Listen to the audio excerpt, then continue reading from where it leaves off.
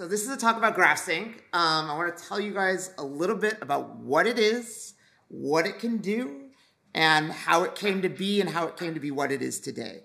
Um, uh, and like a VH1 behind the music docu- documentary, there was some, there's a lot of really awesome and early unexpected success followed by a ton of debauchery and regret.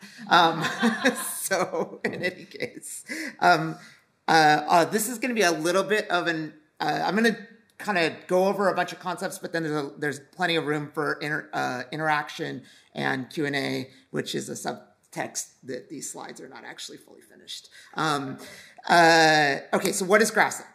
GraphSync is a libp2p protocol that allows a requester to express an IPLD selector query uh, to a responder, uh, and then the responder executes the query and sends back to the requester all the blocks needed to satisfy the query. And the responses are designed to be sent back in a way that allows the requester to incrementally verify incoming data against the query. So you can run a selector, you can get the responses back and you can process them in a way that does not force you to absorb the whole graph before you know if you're getting the right stuff.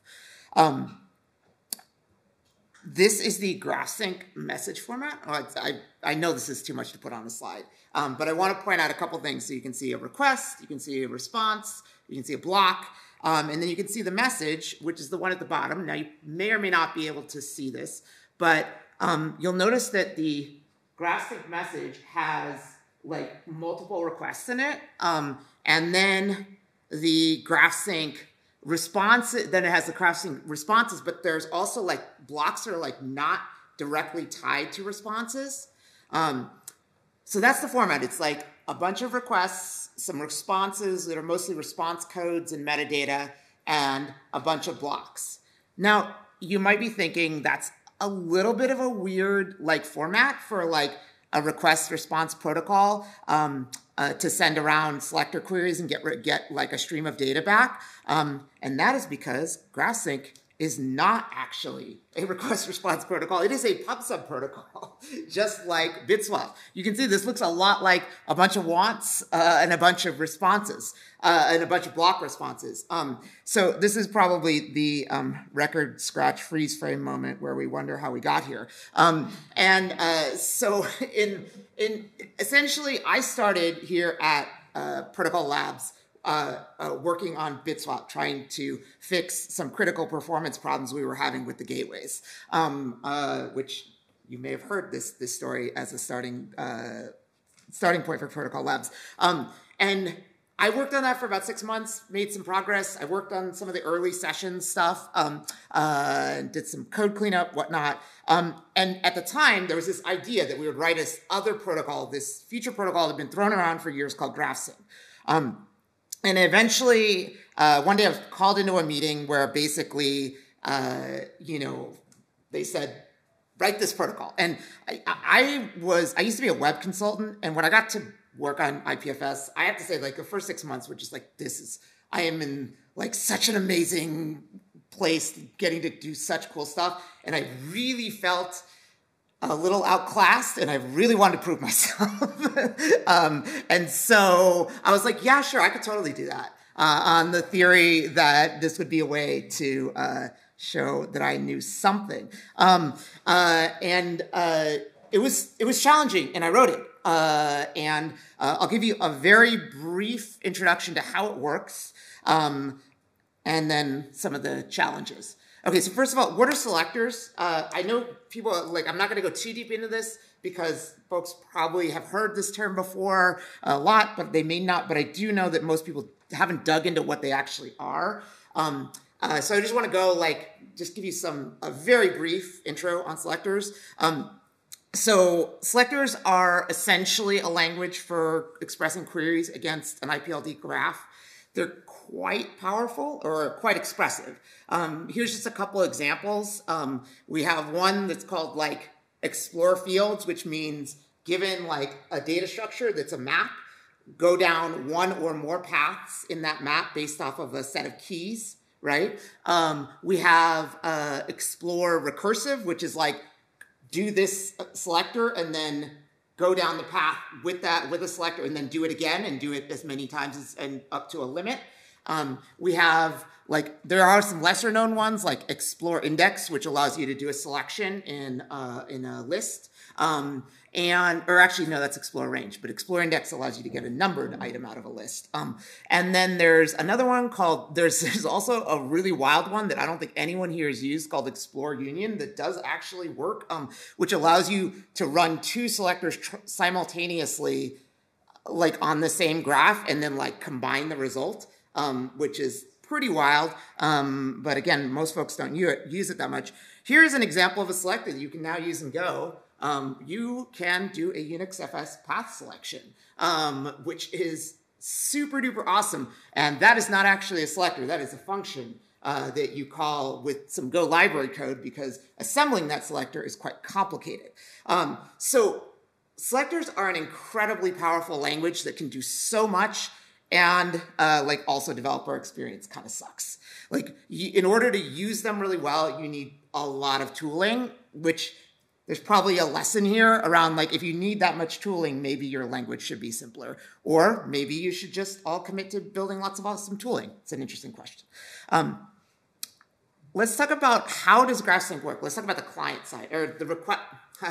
I should be, it should say GraphSync requester because we don't say client and server because again, it's a pub sub protocol, only there really are clients and servers. Um, the, so, uh, how does the GraphSync client work? The basic architecture, the way I describe it, the, the, the, or the conceptual shift I, I use to try to help folks understand it is not that I'm sending a request and getting a response back, but rather that I am executing a selector query on my local machine that happens to be backed by an asynchronous stream of data coming in from a remote machine that is actually sending me the data I need to satisfy that query.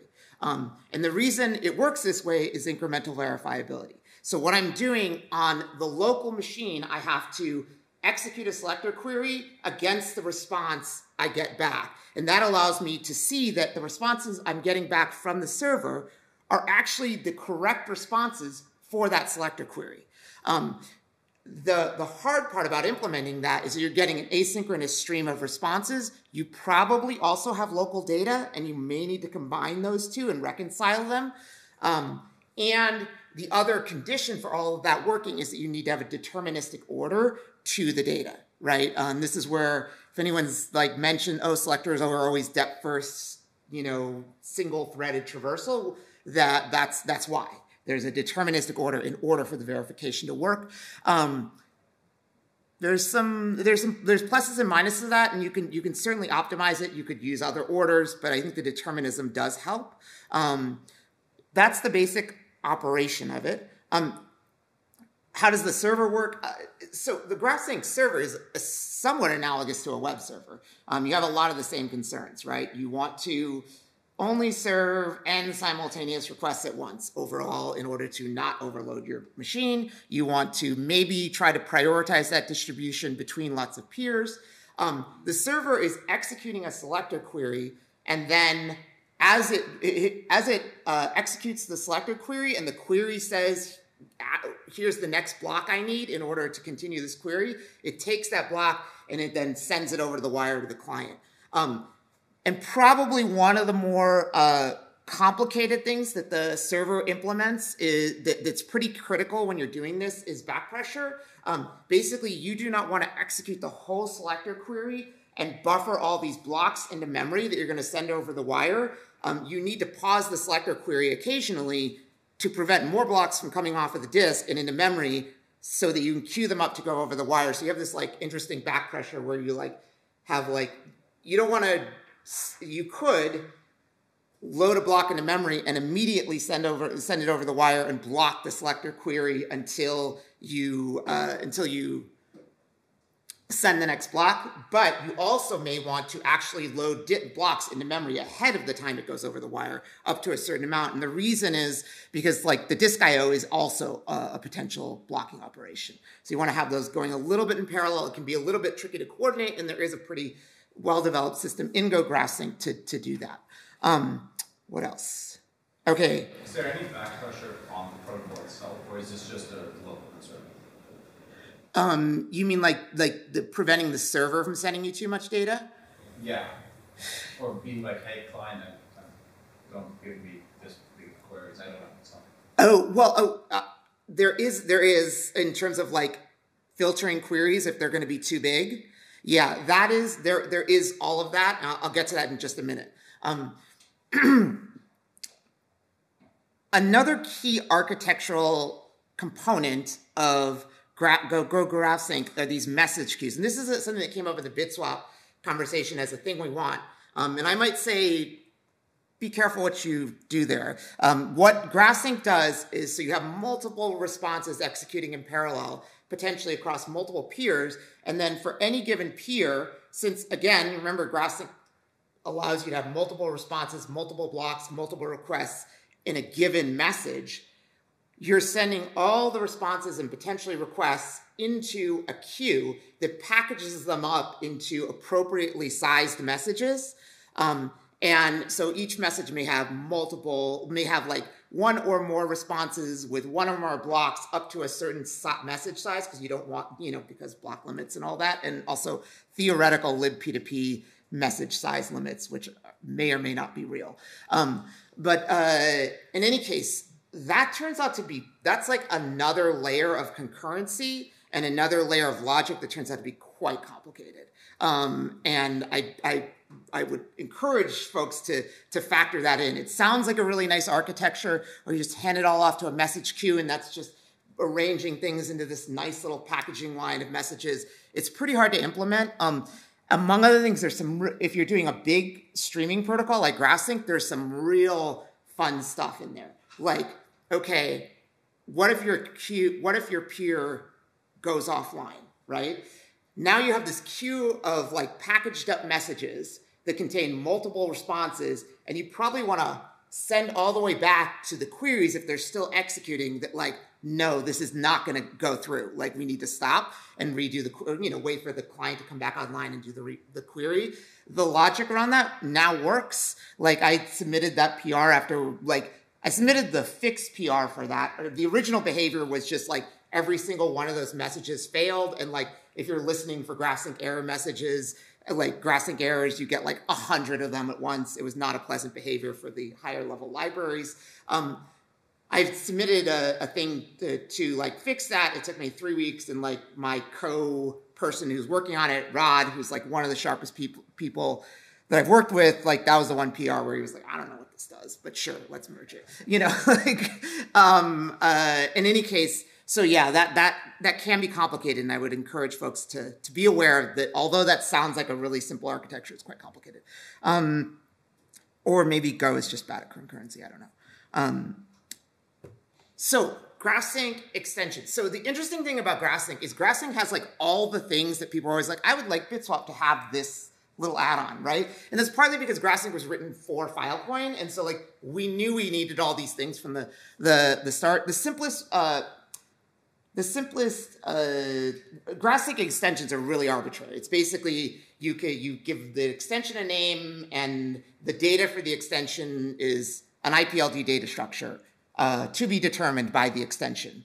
Um, and then the person who's implementing the server uh, can, uh, there's essentially the ability to set up a hook that looks at every incoming request and whether it's based off the extension or the selector or whatever else, you can uh, choose to accept or, or reject that request. So that's where we have a filtering based off of like, I don't want to execute an infinite recursive selector against an untrusted peer, right? Um, uh, the default implementation in Filecoin is I don't accept any requests unless they're authorized. Now there's another kind of too long selector, the protection that we have, which is, oh God, what is it called? Like the selector budget which is like as you execute the selector, you have a decrementing budget. And that's just a global limit I think you can set for the selectors. Um, we did put that in because at one point, there are like the selector language is too powerful. And as a result, it has some potential geometric time executions uh, for certain types of DAGs, which is really bad. Um, and we haven't fixed that yet. Um, but in the meantime, we're just putting in limits. Uh, so so anyway, so that's another thing that you can do to limit, you know, like I don't want to execute too long of a query, um, or you can limit up front and just say I don't authorize this request. And there's a whole authorization structure. You know, you look at you look at incoming requests. You can set up a default authorization policy. It's kind of got like all the things you would expect from like you know the way people do cookies in in Web two auth. Yeah.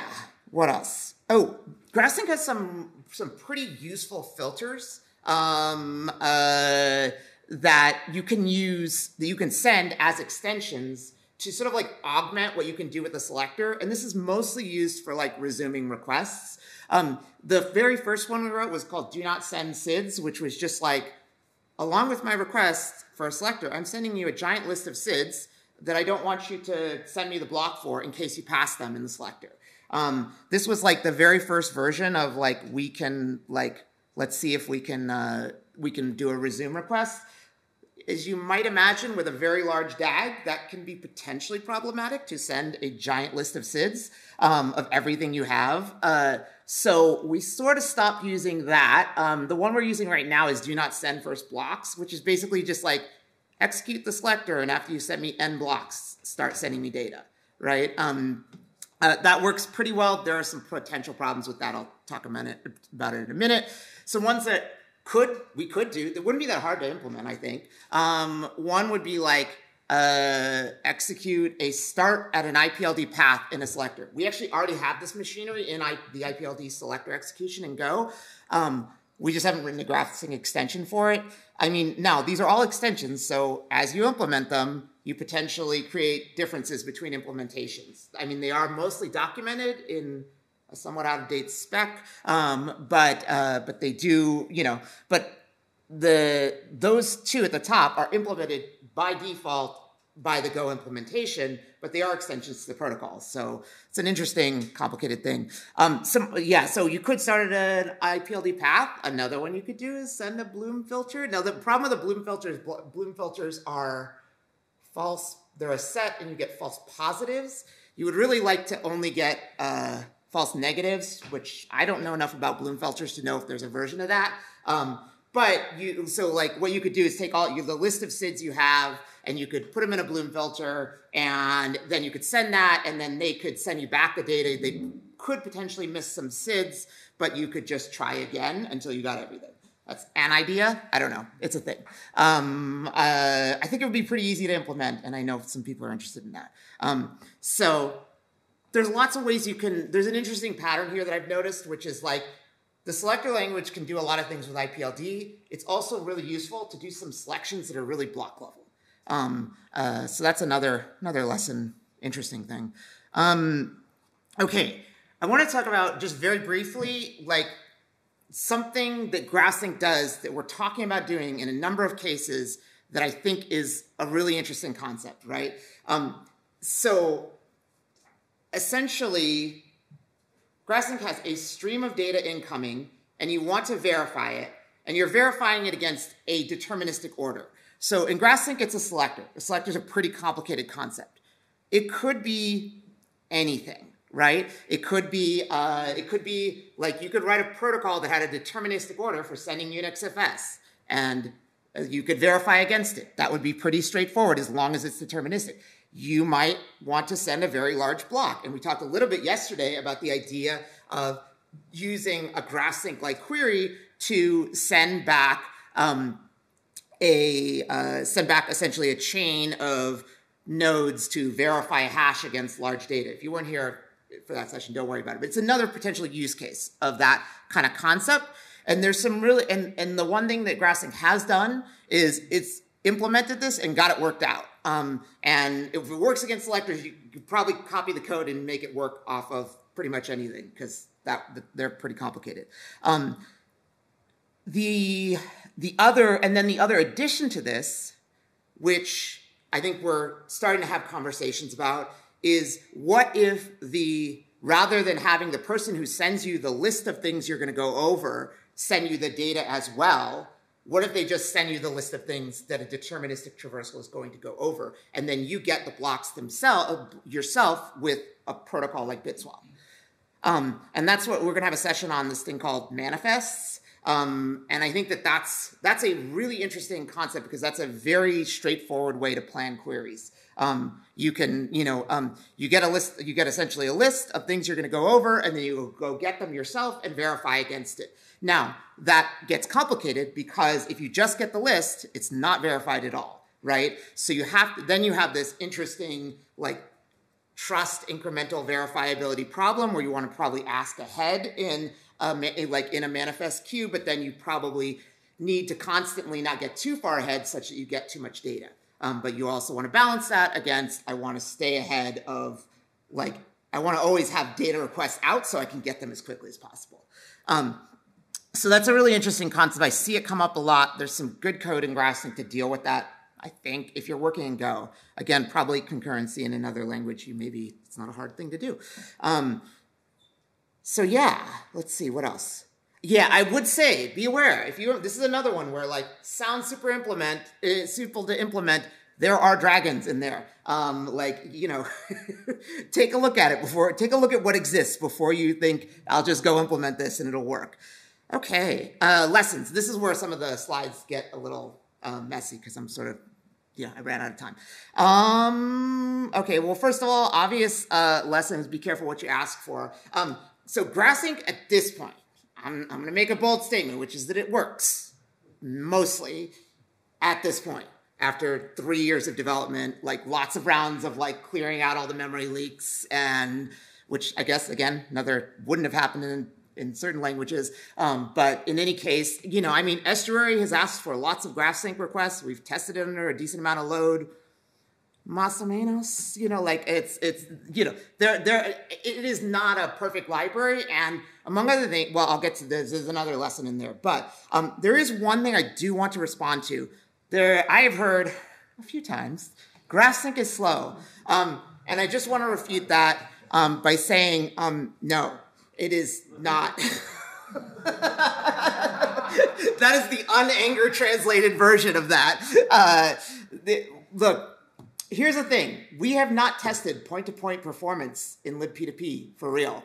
Um, like, like we we have like Bitswap is a block protocol. We have not tested how fast we can move streams for large amounts of data, and um, you can go in the Slack channel. You can go on all of the annoying uh, messages I've sent if you're on the Filecoin Slack and in various channels.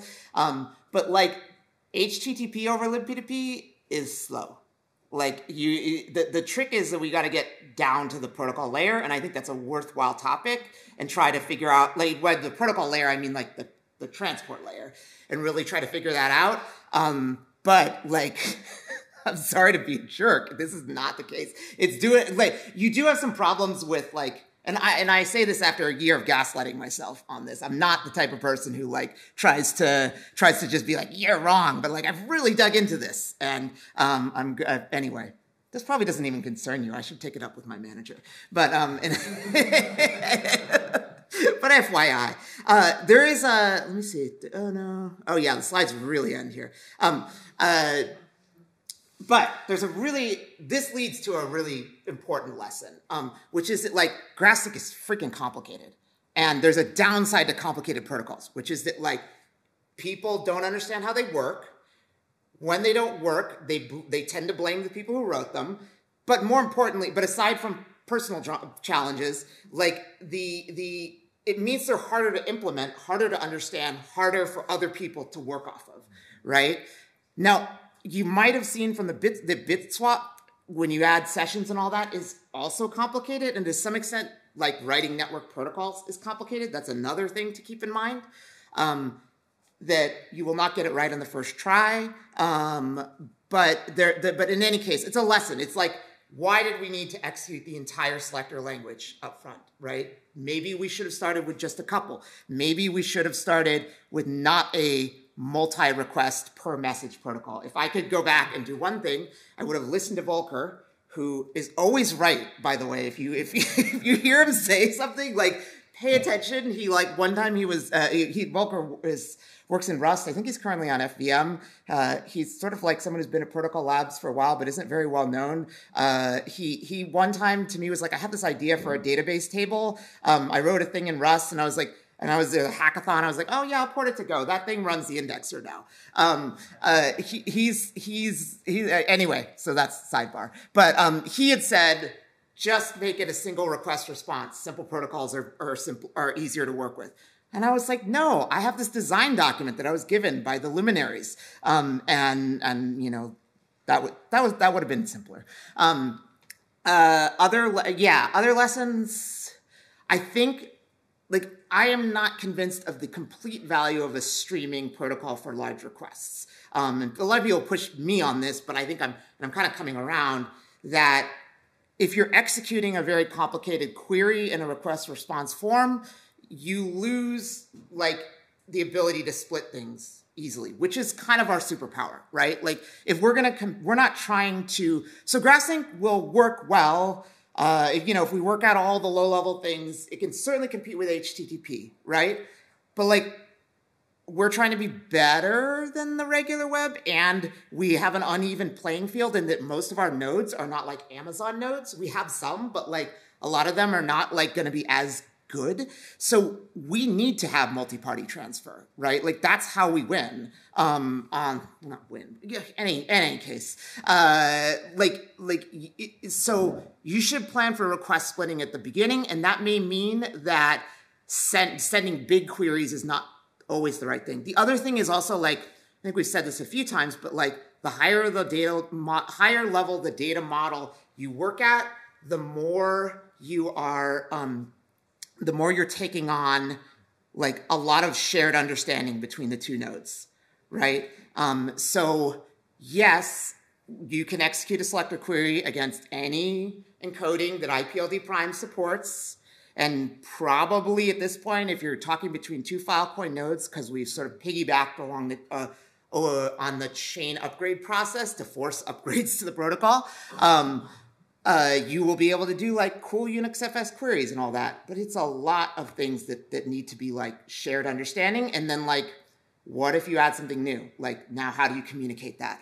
Um, so you may, th there's a question. Do you want to put all the different possible higher level data models in a single protocol or do you want to do multiple protocols for all the higher level stuff and then just have like a BitSwap underneath to move the blocks around? I don't know.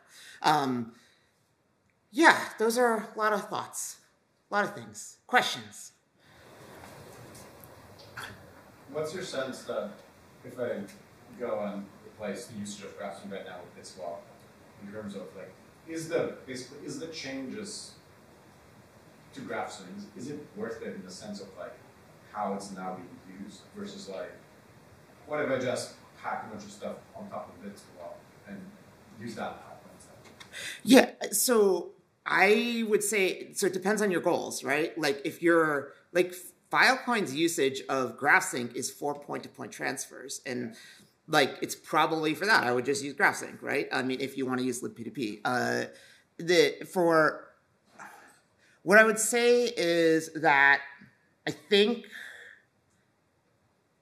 I mean, there's there is a problem with BitSwap around the like deep graphs, right? You probably need a solution for that. I think these sort of ideas of manifest protocols to get ahead of your like local traversal uh, in terms of what you know about the graph are probably sufficient for that. Um, there are certain queries where it's would just be simpler to use GraphSync. Like if your goal is to get to a deep path in a directory, like that's why would you split that up? Like it's it's sufficiently linear that you would just that that you might as well just get all the blocks up to the file and then go to BitSwap. Um, and there's probably a lot. There's some interesting thinking about like when is it better to split up queries? Because there, if you're truly traversing like a blockchain, like a traditional blockchain, not a Filecoin blockchain, like there's no value in splitting that for the most part. Though maybe you want to get like the blocks from multiple peer, uh, yeah, you know, there's still value, I guess. But if it's small enough, you're probably going to save data just going round trip and getting everything at once. If the data is small, uh, not if the not uh, not the shape of the graph, but more like if you've got lots of nodes, you might as well just hand it to one peer and get it back quickly. Yeah. Um, so, what do you think? So there, there's how important do you think the deterministic part is of an incremental? In particular, I'm thinking that like there should be some benefit that you get when your graph has breadth to it, right? Mm-hmm. And and by like forcing like like the traversal order to go like linearly, you, you like you you don't get anything out of that. Sure. Um, yeah, so it's like how how important Because you, you could build a verifiable streaming protocol that wasn't deterministic. It would just require maybe more memory on the side of the client. Yeah, I mean, you can also build one that's deterministic, but not very linear. Like, you know, you can you can you can make it breadth first, right? As long as you say it's this order of breadth first. Um, the so, and then yes, you can play games with trust, right? The only thing I would say about that, like, right, when I say play games with trust, like if you want to make it non-deterministic, maybe you accept a certain amount of more stuff buffered in memory before you can verify it, right? I don't mean I don't mean I don't mean from a trust perspective. I mean like like a I have a branching Mhm. EFS file thing, right? Right. Instead of you know walking each of the blocks in some traversal order, like once I've hit a node that has you know whatever 256 spread, Right. Whichever order I get those blocks in shouldn't really matter. I can verify them all the same. Yes. I, so uh, yeah, I- think the UnixFS file case is a good example of where you should split it between GraphSync and and uh, and BitSwap. Or you don't even need to use GraphSync, but like a linear traversal and just fetch it, right? Like so, like you should like I mean, the simplest thing would be to transmit that tree of like very small blocks that you know lay out a UnixFS thing down to the down to the like raw blocks at the bottom, and then go to BitSwap. But even but even GraphSync could I, I shouldn't say even GraphSync. I should say even a like graph oriented protocol Right. that does verifiable streaming Right. could send me them in a non-deterministic order. And they could Well, but what is the? You could, but like, I mean, presumably you want like er, the more non-determined. uh, Like, uh, so is there a way in which non-determ the more non-deterministic it is, the more you have to accept untrusted data? So number of seconds apart. You have to wait for the index to be. No, so not if you like right like that's all you you can ask for multiple blocks in parallel Sure. and even though you're you're forcing even though you're you can't do unverifiable stuff. Right, because it's block by block verification. But the problem is that you don't know that the query was executed correctly, right? Unless you get a lookup for something for the individual pieces. Like you can you can verify that this thing hashes to this to this hash, right? You don't know that that hash was the hash. Until you have the block before. the selector diffs, right? Even if you just do a straight traversal, unless you get the full hash to the root, which you could totally send along, and then you can just send it in arbitrary order. It's not depends on the size of the block. as well. lot of overhead, but you could do that something like that, right? That's the problem with the untrusted. That's why the data is untrusted. It's not that the SHA verification doesn't work. It's that you don't know is this actually the right hash in my graph. To go back to the root. Like in in Have this case, you have to verify the manifest. And Yeah, if you have manifest, that goes away because that basically gives you the removal proof that uh, you can go hash things together to the top. I mean, there's certain things that say, you know, like if I'm doing like path traversal, explore field, explore field all the way down, where like, yeah, that you have to do it in the in the linear order. But if I want to say like, get me, you know, I, I reach the map and I say like, get me all of the elements in the map, right? Because my my query is get me all, all can therefore be parallelized. But you, when you say the map, in that case, you're talking about a single level. Yeah, I mean, I mean, as the thing goes down, so like, you know, first, you know, simple example is like the, you know, I have a, I have a large branching tree for my Sure. file, right? Um, I want to get the whole, se- I, I, at some point my, you know, my request, my subgraph description says I want the whole second layer. As soon as I say I want all instead of I want next, I have the ability to like, whether I get one and then two or two and then one, It doesn't matter to me because they're both.